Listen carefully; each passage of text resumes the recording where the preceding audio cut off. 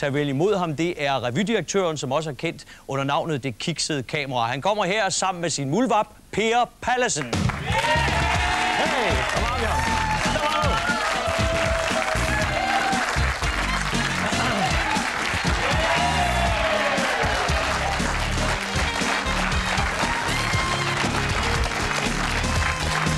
Goddag.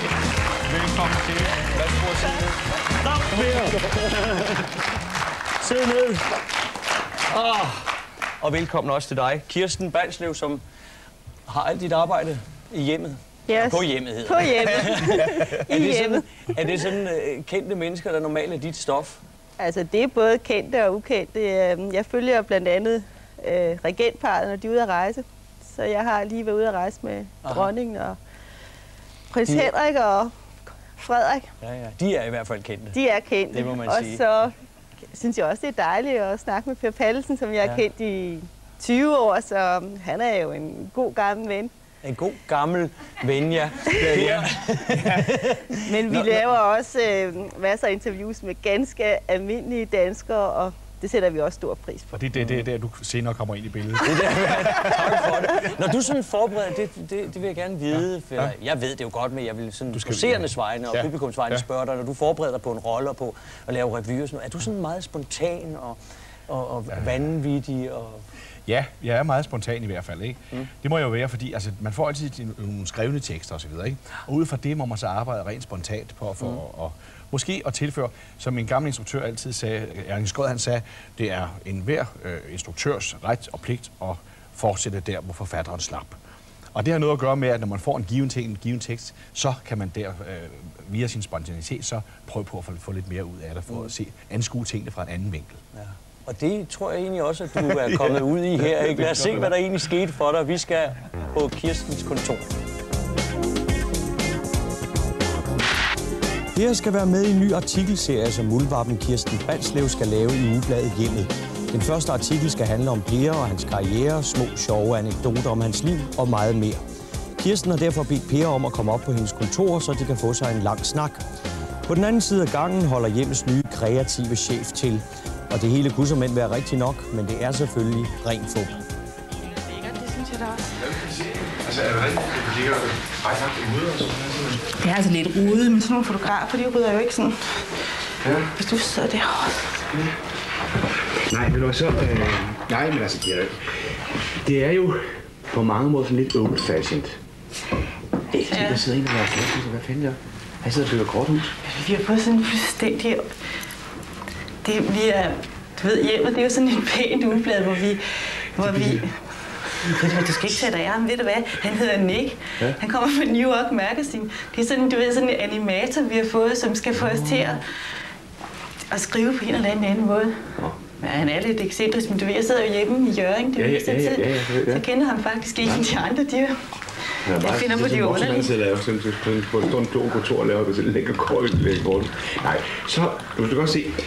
Jeg vil sige, at jeg vil, han har lavet den derovre, ikke? Så, så, se. Nu brænder det, se.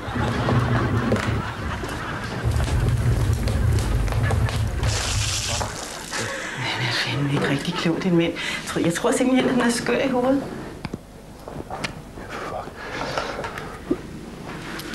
Og vi har brændt lortet. 15, I can a little fire here on the floor. Can you Men hvordan havde du to det at spille sådan en rolle? Right. Jamen, hvis ikke min rolle bliver spillet 100% i Ja. Hvis ikke den bliver spillet 100% ægte, så Ja. falder stykket fra hinanden. Ja, men I ser virkelig også ud, som om I elsker hinanden. Jamen, det gør vi også. Altså, det gør vi også. I de to en halv time, vi spiller, der Ja. elsker jeg bredt med. Ja. Og jeg bliver nødt til ligesom at tro på det. Ja. Ikke? Og jeg bliver nødt til, altså det, det var svært. Can't you see the thing there? Jesus Christ. I worked all morning on that. Okay. Do the cards. I called. I called on the phone twice now. Jeg ved ikke, hvad de laver. Jeg ved ikke, hvad de... Jeg ved sgu ikke, hvad de laver. Yeah, yeah. Okay, just do the cards. Hvad skal du så i gang med bagefter? Jeg skal i gang med, øh, nu skal jeg i gang med øh, det her show, vi skal lave i Tivoli. Ja, Vi har jo lavet glassalen. ja. Det er Kurt Ravn og Anne-Marie Max Hansen og Preben og mig. Ren skal også Ja, med. ja. I føles ad tygt og tyndt. Der er måske noget om det. Det er så mærkeligt, ikke? Altså, men, det, men det har noget at gøre med, det hele startede, det hele startede med... Nå, skal nu Yeah. Okay, get out, get out. She'll do it. Yeah. Yeah. Men, men, men, men i hvert fald så... Der, og så... Okay, shut the door? Oh, shut the door, leave the Vi door. var sgu begyndt at prøve det, mener Godt, vi lukker døren. It. Han er, han er jo, han er jo ret men han har simpelthen... De laver jo ugeblade på en helt anden måde, end vi gør. Der er jo sådan... Altså, det kan man selvfølgelig ikke, øh, selvfølgelig ikke lave hjemme, men han kommer med nogle idéer, så du tror, det er løgn, og han kan få folk op af stolen, selvom nogen... Altså, Så jeg, det jeg har siddet her i, i, i en masse år, og vi ryger helt op i loftet, når vi har de der møder med ham.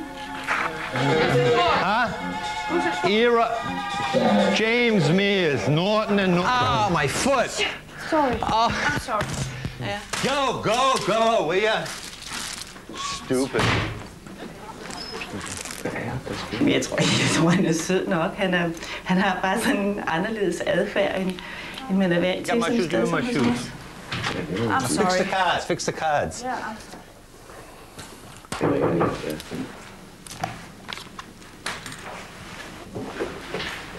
you want to go to the movies? I'm going to go No, see no, a movie I, now. I, you see, I, I'm, I, I can't do it now. They told me at 11.30 You they're going to have a couple of see, I films. have a guest yeah, here. I understand. I'm yeah. making the interview. But they told me they're going to have a couple of films downstairs and I want you to see them with me. Oh yes, but you see, I can't do it just now. Well, I'm going to go eat McDonald's. You want to go to McDonald's with me? Yeah, but, but you see, I'm talking. I have Yeah, I a guest. know. You'll see. Okay, it's a Yeah. it's a famous actor. Yeah, yeah, yeah. I'll ask you tomorrow. I'm not here tomorrow. Kan man da vise et madbillede, fordi jeg var ude at spise med dig. Han vil invitere på McDonald's. Hvis jeg skal noget, så vil jeg da spise på Kong Hans eller sådan noget. Det er jeg nok for til.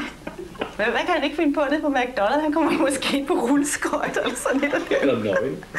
Nå, men det kan være, at du kan bruge ham i revyen. Han er virkelig special. Det er også derfor, de satte ham helt hernede, fordi ellers så kunne han jo simpelthen... Ja, man ved jo ikke, hvad han kunne finde på. Men tror du ikke, du ligesom er blevet lidt for lige med dem på en eller anden måde? Jo. Altså, sådan kan det jo nemt gå. Så nu smider han på en skive på vinduet. Det gør han ikke. Se der, se nu. Se nu. Det gør han sgu da ikke. Se der. Se. Ved Han tror, han tror ligegyldigt, hvad han finder på. It's fun. Mr. Carrots, I'm sorry. Talking to me? No, no, Mr. Carrots. Det var sindssygt. Se. Turn around, turn around, turn around, turn around, turn around, turn around. You Come on, are turn around, turn around. sanest man I've ever. No. It's fun, it's fun.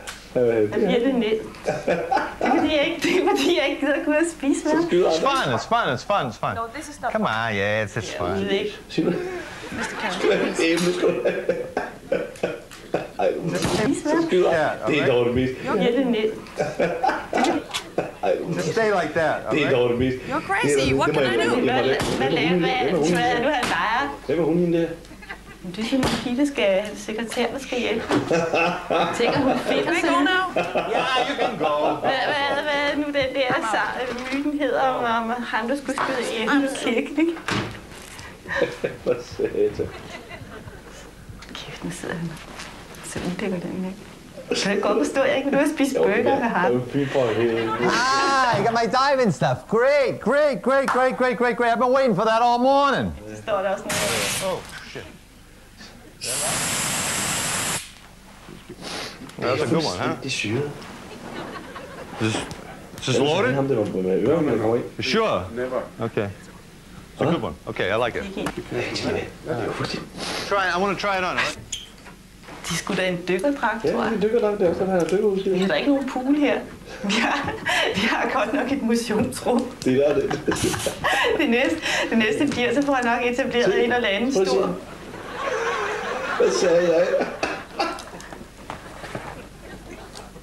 Underbukserne er flotte. Ja, de er ret fede. Ja, ja. Du er jo også vant til at vise dig frem, ikke? Jo, jeg med det. Men øh, hvis vi sådan tænker på, hvis man skulle lave et eller andet, måske til, til noget festivitas, vi påtænker måske at holde sig noget med alle tre blade. Det skal være noget både nordmænd og svensker og danskere. Er der ikke stor forskel på dem? Griner man af det samme og sådan noget? Øh, nej. Er der kaffe? Der er kaffe.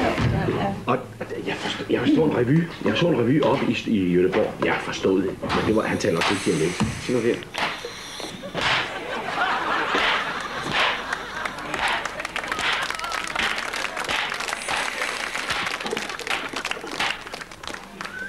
Det er du ikke? galt ud.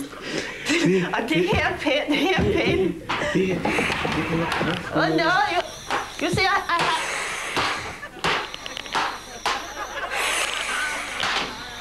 Okay, du skal sige altid en af tingene. Enten, enten, enten så tager du ud og dykker sammen med mig, eller også så er du med på øh, mit tv-show, som hedder Ringfunden.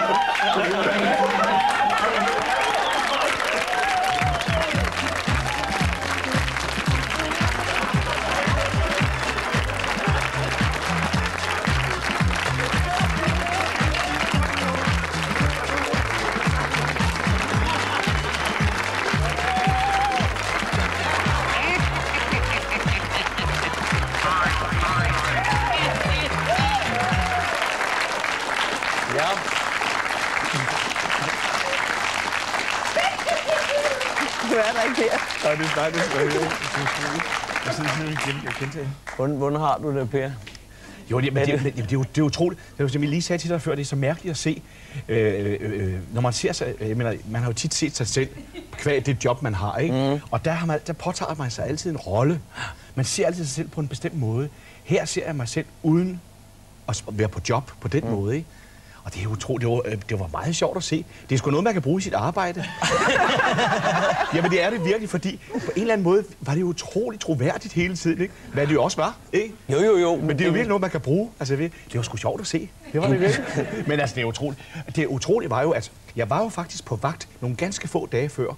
En af dine, din konkurrerende kanal, hvor du lavede noget, hvor jeg skulle sige et, et, et, læse et, et digt op af øh, Johannes V. Johan, Jensen. ja. ja. Der var jeg helt sikker på, at det var for at lave fis med mig. Men da jeg så så alle medarbejderne fra den pågældende station, jeg sagde, nej, det er i hvert fald ikke det.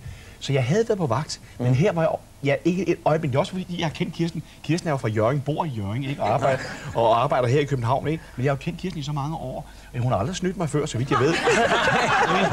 Så derfor troede jeg sådan på, at jeg siger, selvfølgelig, at vi har lavet så mange ting sammen, ikke? Så det, Du det synes jo alligevel, at han var mærkværdig, den her chef, Hold, ikke? jamen, jeg synes, jo, men man ved jo aldrig det her med de her amerikanere, fordi når der kommer, når der kommer nogle mærkelige ting, det kommer sgu altid derovre fra, ikke? Og ja, det kan da godt være, at det var en ny måde at lave et blad på, hvor jeg ved jeg. Men jeg sagde, han, han smed tøjet og hive ud der, den dragt. Jeg sagde, det er dog besynderligt, men for fanden, det kan da godt være. Jeg røg fuldstændig på den. Men ikke et øjeblik tænkte jeg på, at den her den er gal. Nej.